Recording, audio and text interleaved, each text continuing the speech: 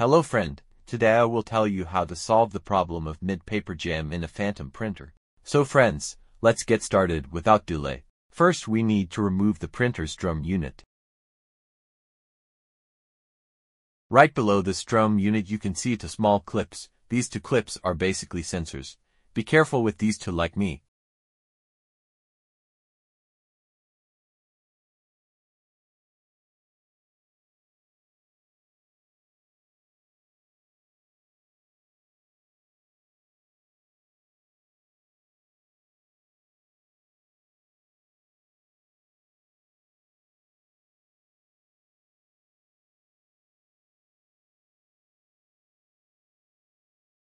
This time, reinstall the drum unit.